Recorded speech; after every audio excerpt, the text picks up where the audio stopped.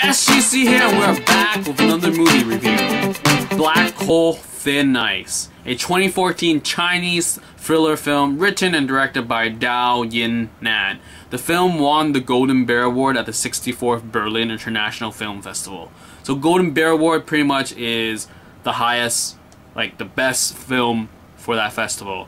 And also the lead, Lao Fang, Liao Fan, also won the Silver Bear, which is the award for Best Actor. So, what, what? Haven't seen anything else by Diao, but I would totally check him out if I get the chance. So the cast, pretty much, is Lao Fang, Gwei Lun-Mei, and Wang Xuebing. So what's this movie about? So the story takes place both in northern China in 1999 and 2004.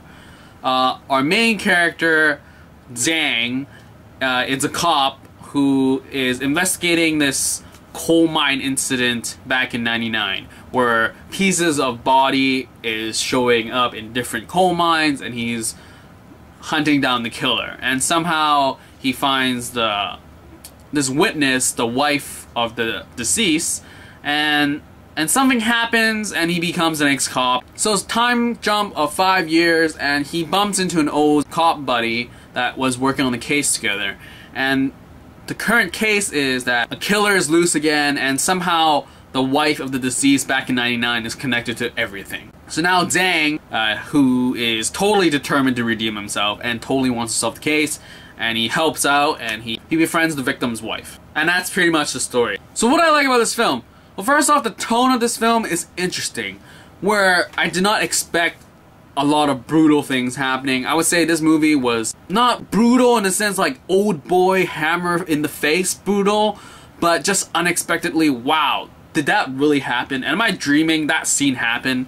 So that was intense and and just the intrigue and the and like who's the real killer, what's gonna happen now. Uh, the tension is there, and I give props for it because it, it did win a Golden Bear for best film, and and I could see why it won because because the the way that it's filmed, it was just just the tension was just like this is dangerous, and this is really happening, and it happens in the sense where whoa, whoa, man, it it, it happened, it happened. And I really like the character progression throughout the film, where Zhang's character is going super into the deep end into the solving this case and he's committed but it's just like where is the killer? What's gonna happen? And yeah I, I really enjoyed the whole course of the film. Sure there were slow parts and it, it sometimes felt like where, where is this going? But it was good.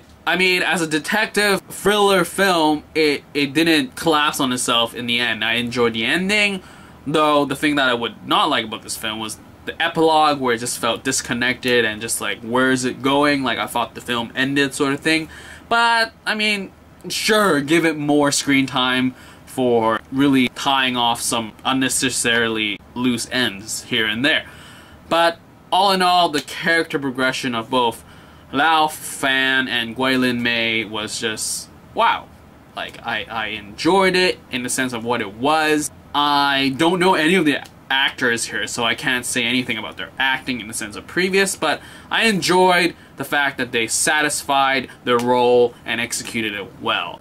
I mean, without really talking about the story, I can't really go into depth about how Liao Fan won an award for this film. But let's just say he he was in the deep end and he and he really was like did did that really happen? Like I think that's like the major part about this film that a lot of the scenes were like, wow, it it, it went there. It, it, it this is dangerous, and I really like that factor. As in, this movie is dangerous. As in, guns do kill and blades will kill you, and you don't mess around. Like I'm sick and tired of all these like films where you can shoot machine guns everywhere and no one ever dies. I mean, they're getting better. People are getting clipped, but they don't die. But yeah, I really like the danger factor and the, the, the, suspense that this builds and the way that Diao shot it. It was just like suspenseful. Also, if you have seen my recent China, Hong Kong collab films, they weren't done well. That's like one of the major things that why I went to watch this film because this is a China film. Like it's not a Chinese, it's not a China Hong Kong collaboration, but a strictly China film, and I really enjoy that. As in, it didn't have that campiness of fulfilling certain requirements. Because I swear, when I watched this, I didn't feel like that it was a China film, despite the fact it was all in Chinese. But, like, it wasn't the campiness of, oh, oh, I can't break this rule, I can't break that rule, or I gotta fulfill this requirement before it gets released in China. Because that's what I feel when I watch Hong Kong films that try to, like, satisfy this required list of things that they can or cannot do for it to be released in China and those movies suffer, but here it doesn't. It be if you took out the Chinese and put in English, and I don't know if you can change the actors, but but what I'm saying is that this does not feel like your typical China film, and I really enjoy that, despite the fact that there are Chinese people and they do what China people do, you know, spinning on the ground, sort of thing. But beyond that, I really enjoy that. So yeah, I enjoyed this movie. I understand why it won an award. It's a great thing that this won an award. Now I can watch Diao's other film and maybe hope for something similar.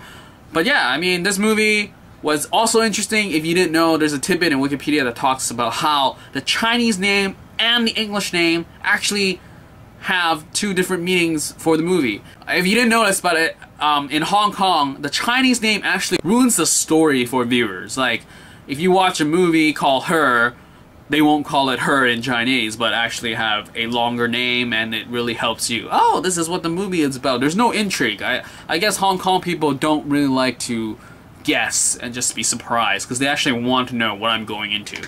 But I really enjoyed uh, Black Coal Thin Ice and the fact that uh, Black Coal and Thin Ice has something to do with the actual plot and the Chinese name itself also have to do with something with the plot. So that was an interesting setup that the director did. Yeah, I enjoyed this, Black Coal Thin Ice, and it was interesting. I haven't seen like a detective movie in a while, so it was fun to watch, but it was gritty, and it was, like I said, dangerous. And that's pretty much it for this movie review for Black Coal Thin Ice. If you watched it, leave me a comment below and tell me how you thought about it. If you didn't watch it, you can also leave me a comment and say why you wouldn't watch it or want to watch it.